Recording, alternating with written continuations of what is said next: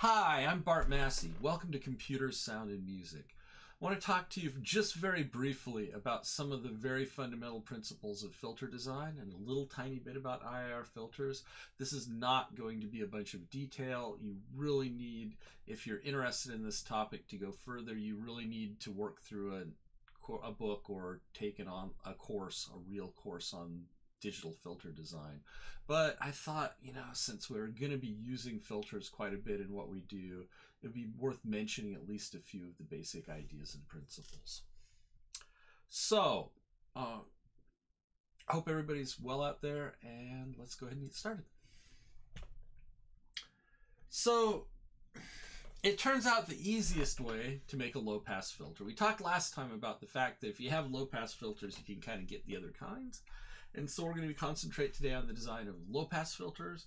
And the easiest way to get an FIR low pass filter is to use a transfer function that essentially takes a window of past samples and then rounds off the edges so that some symmetric thing is the actual transfer function of the filter. And if you do that, it turns out you'll get a filter with quite a lot of latency, but also if you use enough taps, if your convolution is big enough, you can get a fairly nice shape for that filter. There's a ton of window functions out there. Uh, it seems like sometimes when you look at the literature, the whole field of digital signal processing for a long time was sort of obsessed with the idea of finding a better window and there's a lot of windows with different properties. You know the the obvious things to look at like triangular windows are kind of boring um, but they are easy to implement. Uh, you know things like blackman hamming Hann windows those kinds of things are sort of more DSP motivated, but maybe a little fancier to calculate the window function. But basically, we're going to convolve some function that's a symmetric function that goes near zero at the edges to with the signal, and that's going to give us an output of our filter. Uh, and you know, we've already seen this because we noticed that we have to, because DFTs treat the signal as circular, we need to normally round off the edges of a DFT anyway. So we have to apply some kind of windowing function. These are the same windowing functions. There's nothing new or magical here. We just have some windowing functions that we're going to have to apply to things to make it work. And that's great. So we go ahead and force the period to be the period of the DFT by applying a window to the signal.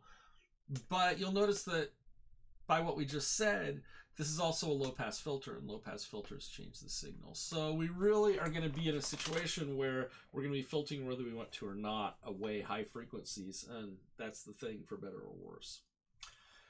Now, the biggest problem with the windowing filters is that they aren't really very principled. You sort of can take the image of the window under itself under the FFT to get some idea of how it's going to shape the frequency, but what we really want is to sort of pick the coefficients so that we get the best shape for what it is we're trying to do.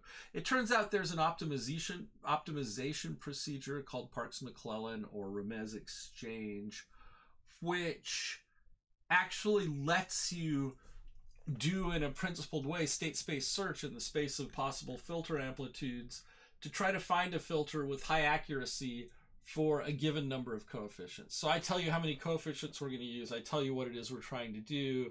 And the Remez exchange process is an optimization process that tries to adjust all the coefficients to produce the right filter shape. Uh, the basic idea has to do with something called Chebyshev polynomials. The filter is going to be uh, treated as coefficient, coef the coefficients of our filter that we're going to convolve with are going to be treated as coefficients of a Chebyshev polynomial. And then it has to do with max minimizing the maximum error. So it's going to be a classic minimax trick where you find the place where your filter is the most off from what you wanted and you adjust coefficients to fix that, even if it makes other places a little worse. Uh, implementing this is hard. Um, it's sort of very hard to implement it yourself. But fortunately, there's library routines. So, for example, uh, SciPy has a library routine that you can feed it a specification of what filter you want and ask it to do the Parks McClellan Remez exchange thing, and it will produce a minimal minimax optimal filter or tell you that it's finding it too hard and it can't meet your specification, which is one of the possible outcomes. So that's, you know, if you're looking for efficient filters, that's one good way to do it with FIR, but a better way sometimes to get an efficient filter if the performance is hurting you is to go to infinite impulse response filters. And we talked about that last time a little bit, this idea that we feed the filter's output back into the filter and treat it like history. And for some reason, it turns out that's really a useful operation, that if you can recycle your computation in producing filter outputs, that can be a really useful input to the filters. And that's strange, but it's just take it as a true thing because it is. And it's real common that you can very dramatically reduce the size of the convolutions you need to do. You can take a 12th order IIR filter, a 12 pole IIR filter, one with 12 coefficients, and replace one that's sort of 1024 pole in the FIR domain. That's, you know, that factor of 100-ish kind of reduction is the kind of thing that makes you really excited to use IIR filters instead the big there's two problems with using IIR filters for things, and the biggest one is that really the the techniques for doing filter design in the IIR space it isn't like FIR where everything's fairly straightforward. You really have to be pretty comfortable with complex analysis and you're going to play around with moving poles and zeros in the complex plane around and you're going to play around with you know quotient functions and it gets really gross really super fast um, the good news is that the people who do this kind of stuff have spent a long time thinking, especially since these filters are really nice for the analog space where you want to keep your component down, count down. Thinking about this, and they have standard sort of filter designs with known properties that you can just borrow from and use without really having to understand exactly why they work. Um, and really, once you've got fil the filter coefficients for the output and the input, it's the same computation you had before. This didn't wrap very well, but um, let's look again. The So we take the, you know, the inputs and multiply them by the input coefficient. We take the past outputs and multiply them in reverse order by the past output coefficients.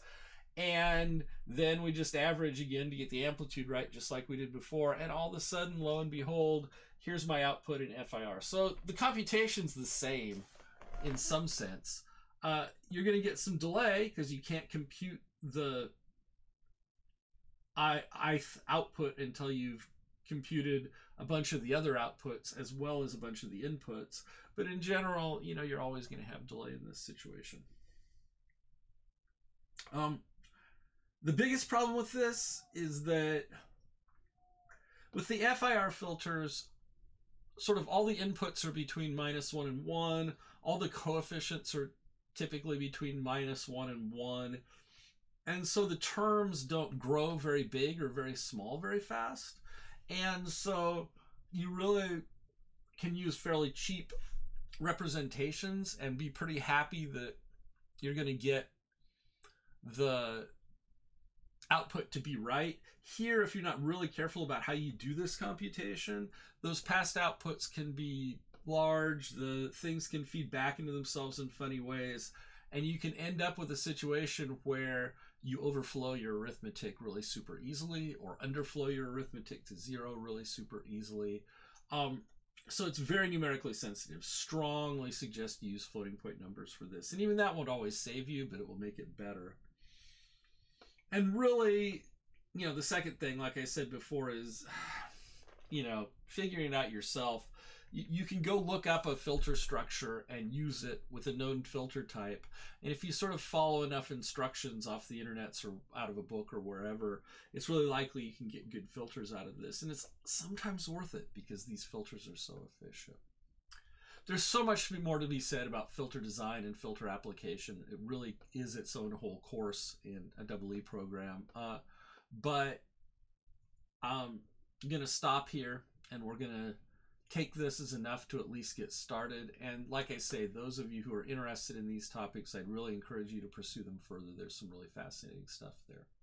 Hope this was useful. Like I said before, I hope you're all doing well out there. It's been great to talk to you, and I hope to talk to you again soon.